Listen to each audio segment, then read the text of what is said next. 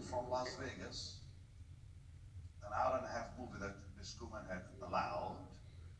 And they told me that after the film, I'm to come out and minister. I had never seen the film till that day. So I'm in the back, way back in Carnegie Music Hall, and they start running the film. And now Jimmy gets up, introduces me, and then he said, now after the film, the young man Benny Hinn will come on the platform, and he told me prior, he said, when I sing Jesus, there's something about that name, you come up. I said, okay. He had no idea, and I had no idea how scared I'd be. So now film is over, I get to the back, I'm looking through the curtains, I see this big crowd, and the big Kathryn Kuhlman choir in the back, and I just froze. So he sang the song one time, no Benny. Sang the song second time, no Benny. Then he says, we're going to sing the song for the last time. And Benny Hinn will come on, and the song was, Jesus, Jesus, there's something about that name. Well, I'm so scared I can't move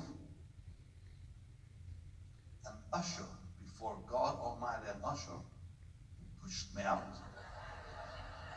I came on the platform almost falling, the spotlight's on my face, and I'm scared because I had ministered only to Canada. In Canada, I had never been to the U.S. for such big meetings, except I was 24 years old. I'm 66 now. I was 24. I look at that crowd, and I can't even move. So guess what happens? When your brain is frozen, you don't know what to do except do what they just did. So I'm trying to sing the same song, but the musicians got so, so tired they changed the song. And now I began singing with such a high key nobody could follow me. And then I stopped. I could not even finish the song. I stopped and I said, Dear Jesus, I'm crying now. Dear Jesus, dear Jesus, with the whole crowd watching. I said, Dear Jesus, I cannot do it. I heard him say, I'm glad, now I will. Amen. Amen. the power of God hit Amen. so hard. Amen. People began getting healed left and Amen. When I said I cannot do it, I heard him say, I'm glad, now I will. Yes, The power of God hit, miracles began happening, and for the next five years I was going every month over there. But I learned my lesson. God cannot use you if you're tied up with yourself. That's right. He can't even heal you. In our crusades, I would watch those people. And they're all, you know, begging. God cannot even get through that. You cannot. And that's when I learned, you know, it's not about prayer. It's about ministry to the Lord. So, Pastor, sit in those rooms, in those hotels, as I did today, by the way. And I would listen to worship of the Gaithers, the old Gaither songs. And I get so blessed. I have so many of them on this. Now let's let's hope I can find some for you. But I would worship and worship and worship and worship and worship.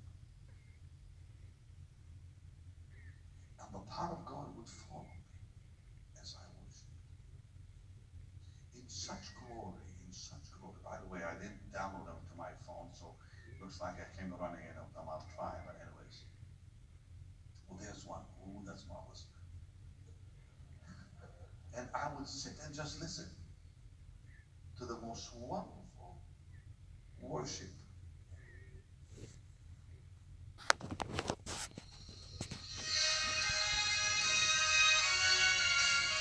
And just sit there. And the part of God will start falling about half an hour later.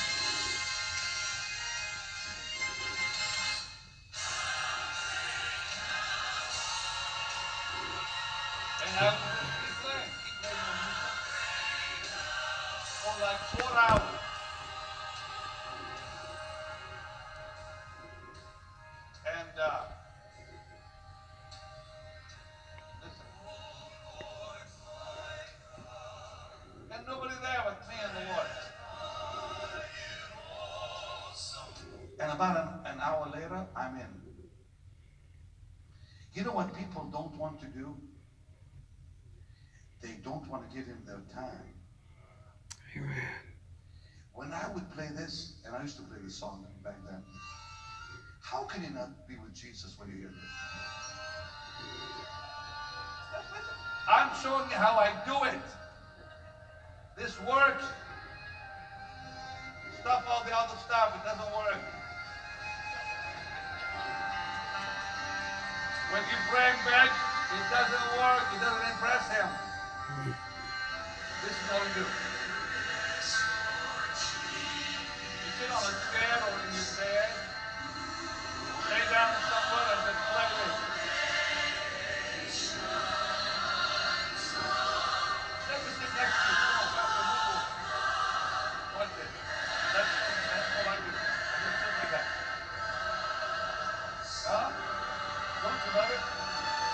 That's what brings us praise. That's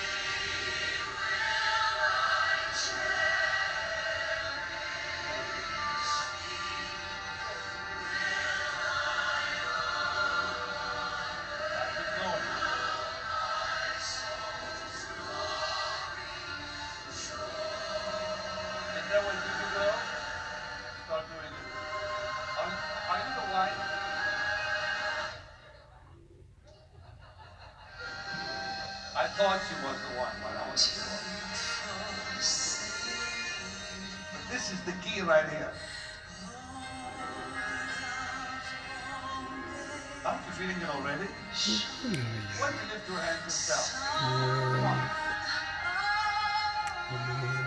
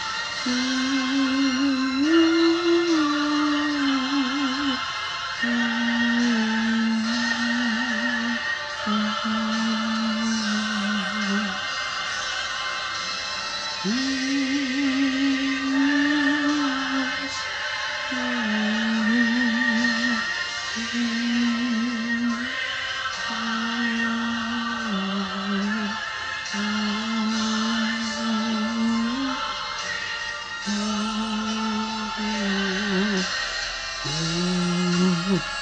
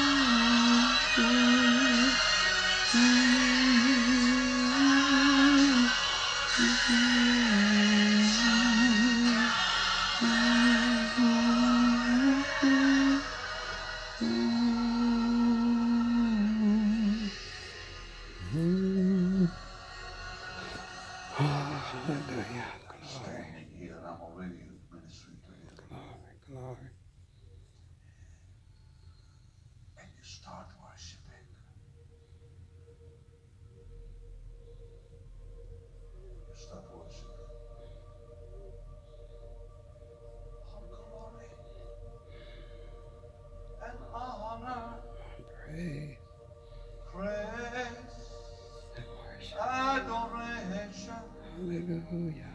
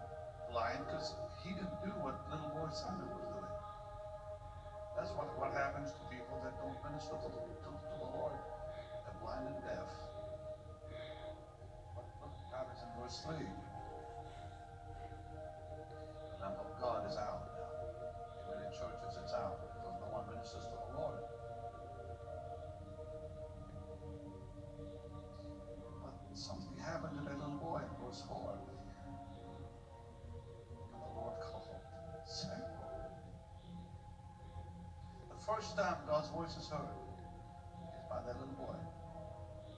Why? Because he found the key.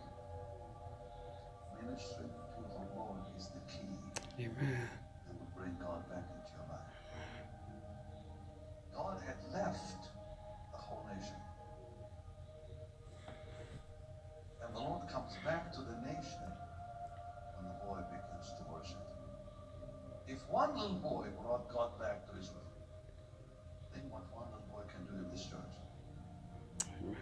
one person can do this. Amen. Now I see your dear wife is so big. She knows it's, it's, it's the truth. We're all tired. We're all so tired of empty nothings. Empty nothings. We're all tired of it. Preachers on TV scream, sweat, and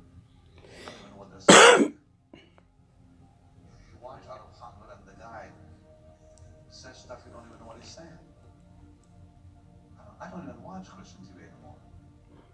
It's so empty.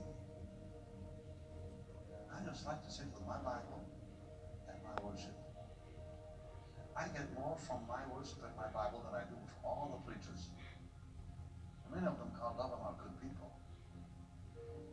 We just need Jesus back in our life. Lord Jesus. Lord Jesus.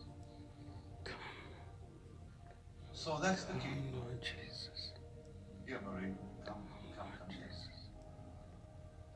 I, just showed you one little example. You know, I'm very independent, you know. I like to press my own clothes. I don't like people taking care of my I think it's too much stuff, you know. That, too, too, familiar, you know. Familiar stuff can kill you. There's preachers that like people to do stuff for them. I'm too independent for that stuff. I've always been like that. And I listen to that worship while I'm blessing my church and I'm crying. People don't realize that I used to literally do that before crusades. I'd get all my stuff ready and I'm worshiping God the whole time. Walk on the platform and but you know why the Lord showed up? Because he was already in my bedroom. Amen. You worship him, he's there. Amen. You leave, he enjoys it, he comes with you. And the crowds, what happens to them? They feel it. Well, I've been feeling it since 2 p.m. Hallelujah. doing what I just showed you. You know, I began playing that and someone began crying, saying, what, what did we do? I'm telling you what we, did. We did exactly what this Bible talks about. Worship. Let me, let me show you a little more let really amaze you. Why don't you go to Second Chronicles chapter 5, verse 11 through 14. You know, the temple was built, God didn't show up. The animals were offered, he still didn't show up. Nope. When did he show up? At worship. Second Chronicles, put it on the screen, chapter 5, 11 to 14. it came to pass when the when the priests came out of the most holy place, all the priests who were present had sanctified themselves without keeping to the divisions. Next verse.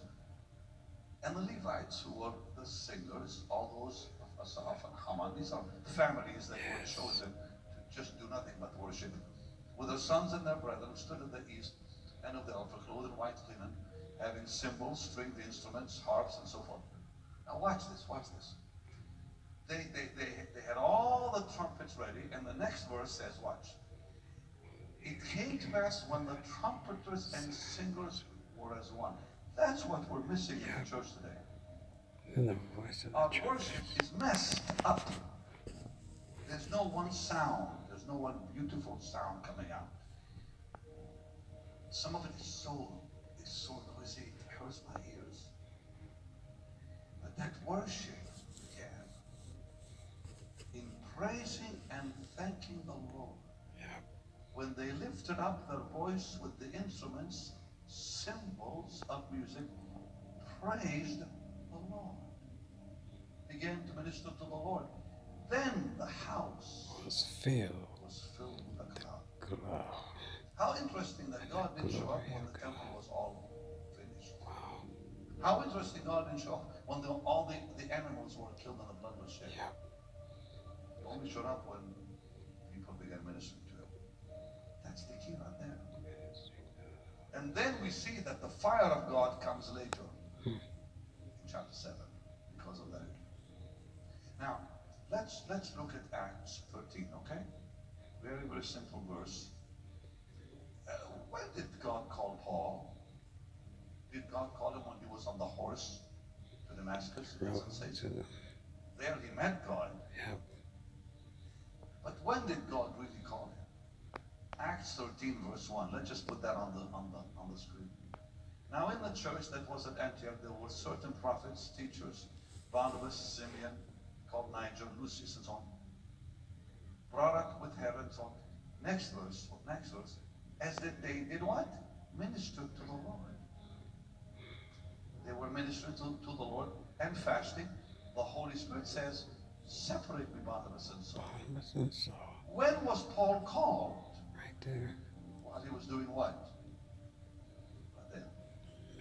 God did not call him when he was on the road to Damascus. He called him when he came to Antioch years later. 14 or so years later, he came to Antioch because Barnabas had, had to go find him. And while ministering to the Lord, God says, That's my man. So ministering to the Lord is the key.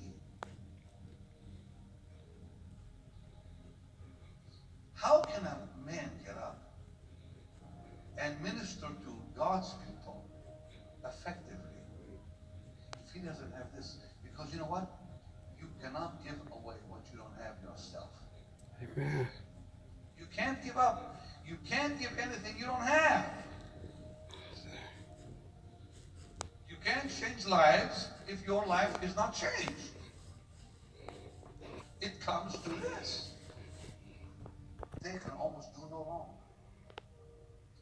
Forgive real quick when it's your kids, right? Really, his kids. Who can move him quicker than his kids? Nobody can move me. No one can move me like my kids. My son Joshua is here. In my eyes, he can do no wrong. And he's done a whole lot of wrong. Like all kids do wrong. My eyes, he can do no wrong. My children have all done wrong, but in my eyes, they do no wrong. Why? They're your children. My father was a very tough man. He was quite, well, we all were scared of him. He was six foot two, 250 pounds of muscle. He he was a boxer. I was scared to death of him. And we revered him. All my mom had to say to scare us is, I'll tell your dad. And every time I would ask my father for anything, he'd say no. Finally, I said to my mom, I said, Mom, why does he say no? She said, because you, you don't know how to touch his button. I said, what? You have to find his button. I said, what's his button?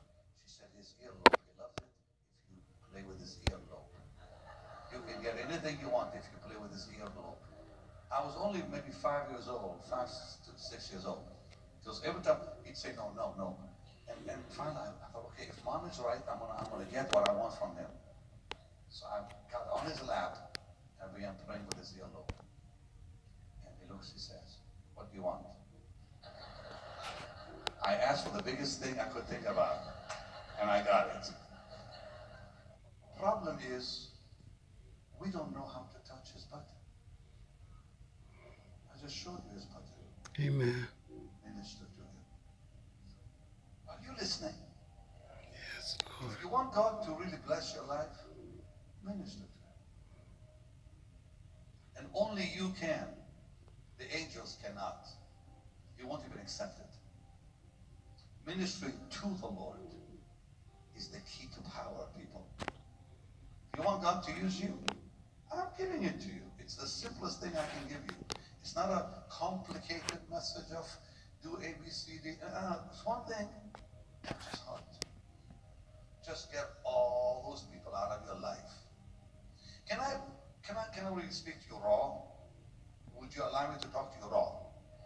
You know, all those friends you have, get rid of them.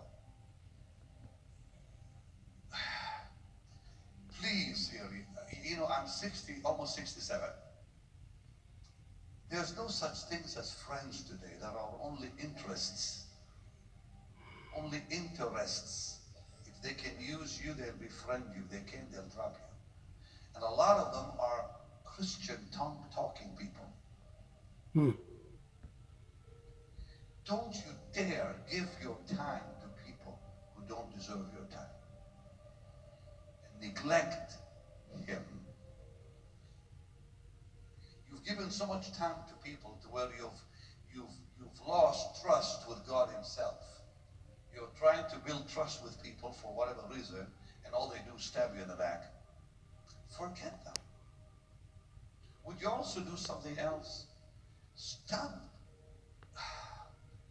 the internet has stolen time that belongs to the Lord. Quit spending your time with your stupid phone. You see people in airports, all they do is, God, why don't they just, why don't Christian people read the Bible? I would shock. I would shock you ask you, how many of you have not read the whole Bible? Hands will go up all over this building. I don't really want to embarrass you. But 80% of you have not read the whole Bible.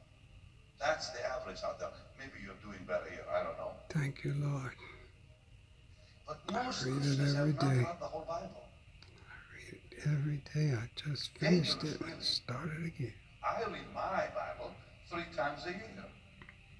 You say, where do you find the time? Well, wait minute, where? Give up stuff and you'll find the time. Just give it up. All the stuff you spend. People talk on the phone with this person and this person. Think what God can do with your life if you give him that time or half of it. Change your life. 40% of all preachers do not have not read the whole Bible. I was with one who was very famous in Orlando. He was one of the guys who would, who would help me uh, in the Healing Lights. Had the largest church in Florida, in Orlando. He was quite dynamic. I took him with me to Patmos, to Isle Patmos. Sitting doing programs with him on Revelation, and I said, uh, and four programs later, one, two, three, four, he says nothing for four programs. Finally, I got a upset. I said, listen, I said, I paid your first class ticket to come here. I'm paying your hotel. It's time for you to work. He got nervous. I had been teaching by myself, sitting on the Isle with the cave behind us. I had to pay the Greek Orthodox priest some money to have to even allow us to come close. And this preacher was sitting there just staring. Finally, I said, it's time for you to work because I paid your way here. And looks, he says, I know nothing about the book. Wow. What? I know nothing about the book. He said, I've never read the book of Revelation. So you're a, you're a, you're a pastor, right? So what are you doing being a pastor then? Not having read the book of Revelation. And then I said, and I have all this on camera, was, you know, taping the thing. Didn't air it though. I should have. And I said, what other books have you have you not read in the Bible? He said, well, I, I, I haven't read all of Leviticus. Hmm. I haven't read all of Numbers. And then he went on telling me how many books. I said, you know what? I said, you're in danger. So if you are a pastor don't know the Bible, the devil one day will destroy you. Oh, he, then he got upset with me. Well, he said, Pastor Benny, word for word, you are involved in God's agenda for the ages. I have to deal with God's people who are all troubled. I said, what does that mean? He said, well, I read books. I said, what books on what? Books on subjects. I said, you mean you read books and preach from the books you read? On things that people want to hear? And you don't read the Bible? I said, one day you'll be destroyed. He went to New York, overdosed on drugs, and died. And you know the guy. Well, you bet you know him. My wife called his wife, and his wife told my wife he overdosed on drugs. It's exactly what happened. Because without the word, the devil will destroy you. Amen. What did Jesus use against the devil? The Not word. his experience. It He is said. It is written. No, the devil said, if you are the Son of God. Now watch this, guys. Listen to this, Chris. Jesus was at the River Jordan being baptized. God the Father says, This is my Son. Okay? Now, all the devils of hell heard that. Satan comes and says, If you are the Son of God. Jesus could have easily said, Weren't you there? Didn't you hear God say, I'm his son? He never said that. He said, Why? It is You written. cannot defeat the devil with experience. Amen. He said, It is written. Yep. He used the Bible, Gotta read the not what word. happened when he was baptized. Gotta read the word If Jesus did not use experience, if Jesus used the Bible, what are you doing without knowing the Bible? Amen. Amen. How would you know how to fight without the Bible? Hallelujah. It's the Word, people. It is absolutely the neck. word of God. And So nothing I else. want to have a show of hands because I don't want to embarrass you. Get to know the Bible, get to know the book, and get to know the Lord of the book. Would you allow me just to go for another 10 minutes? All right. I'm, I'm going to show you some amazing scriptures. Why? And by the way, I I will pray for the, for the sick tonight. Don't leave till you get blessed. It's almost 10 o'clock. I'll be, I'll be, I'll be, I'll be done by 10.30. I just want to show you this. Give me some music, will you? In Isaiah 43, verse 7 and verse 21, it says, I have created this people for myself to show my praise. God created you for himself. Angels cannot love him. They have no capacity. No angel ever said, I love you, Lord. Only human. But you can. I love you, Lord. Angels can't love him. Therefore, they can't know him. They don't. I better come look in your face and tell you that. Um, what's your name again, girls? Okay. Sharon, do you know that no angel knows Jesus? They don't know the Lord. They can't. Because the Lord is revealed by His Spirit. The only thing they know about God is by watching the way He deals with you.